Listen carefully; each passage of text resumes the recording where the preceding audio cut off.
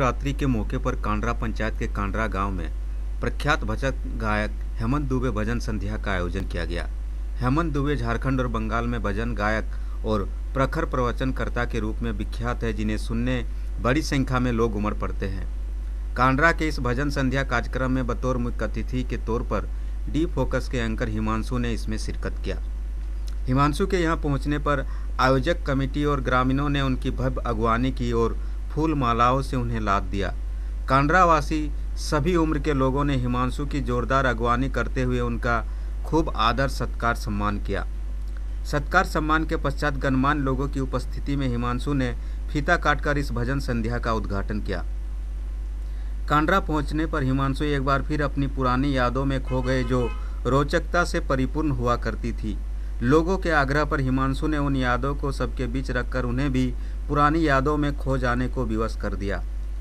हेमंत दुबे भजन संध्या के पूर्व कांड्रा के इस प्राचीन मंदिर में महाशिवरात्रि के उपलक्ष्य में पूजा अर्चना और शिव पार्वती का विवाह कार्यक्रम संपन्न हुआ। कांड्रा में पांडव परिवार दशकों से सामाजिक और धार्मिक अनुष्ठान कराने में महती भूमिका निभाता रहा है और पांडव परिवार की यह परंपरा को उनकी नई पीढ़ियाँ भी बाकायदा निभाती चली आ रही है। इस बार इस बार भी इस पूरे समारोह में पांडव अजय समेत पूरे पांडव परिवार तन मन से भगवान शंकर और माता पार्वती की सेवा पूजा करते दिखे और सभी कार्यक्रमों के आयोजन में उन्होंने बड़ी भूमिका निभाते नज़र आए। इस समारोह के दौरान हिमांशु के साथ राशिक राय, रविंद्र ओझा समेत कई अन्य लोग भी यहाँ मौजूद थे। हो चुका है। हमारे इस परिवार के सारे भाई बंधु लगभग चला गए ठीक है, हम पीछे हैं। जोरदार ताली बजना चाहिए। ये तो महाशिवरात्रि है ना बोलो भगवान की। तपस्या।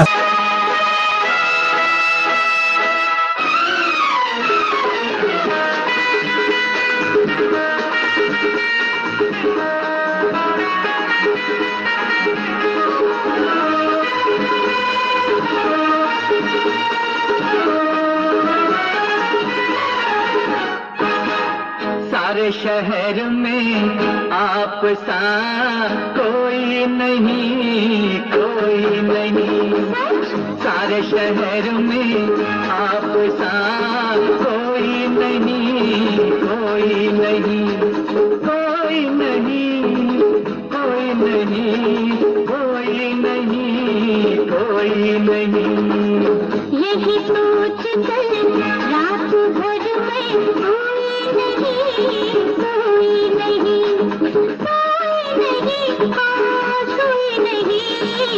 नहीं तमाम चास के कांडा निवासियों को हिमांशु का नमस्कार। मैं बहुत ही सौभाग्यशाली हूँ कि मेरे बड़े भाई पांडव भैया ने आज उस जगह पे बुलाया है जहाँ सात साल पहले मैं आया करता था।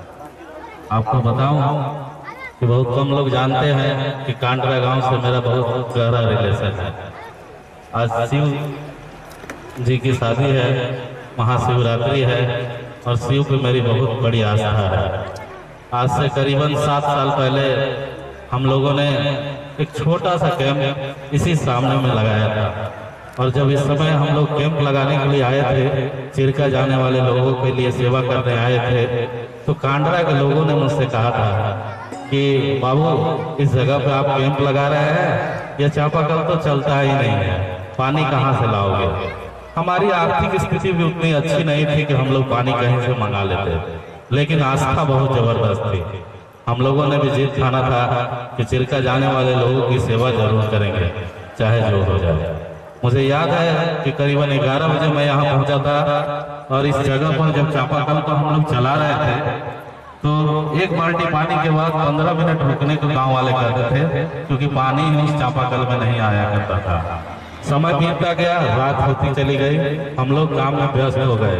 और मुझे याद है कि करीबन दो लाख से अढ़ाई लाख लोग चिरका गए थे।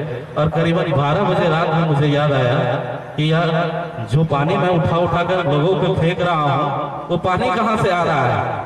ये तो वही चापाकल है जो इतना तेज़ी से चल रहा है, जो सुबह चल ही नहीं रहा था। तो उस दिन शिव पे इतनी ज़बरदस्त आस्था हुई कि सात सालों से मैं लगातार जेल गेट पे कैंप लगाते आ रहा हूँ, और उस दिन ही हम लोगों ने सोचा था कि जब तक जीवित रहेंगे चिरका जाने वाले लोगों का सेवा ज़रूर करेंगे। तो कहते हैं कि भगवान को महसूस किया जाता है, भगवान कन कन में है, आपके दिलों में भी है। तो आप दिल से भगवान को याद करिए। आपके पास ज़रूर आएँगे। फिर से मैं पांडव भैया का धन्यवाद करना चाहूँगा। उस जगह पर बुलाकर वो तस्वीर दिखाकर मेरी पुरानी यादों को ताज़ा कर दिया। इसके लिए तमाम पांडव परिवार पांडव भैया का और कांडरा के तमाम निवासियों का धन्यवाद।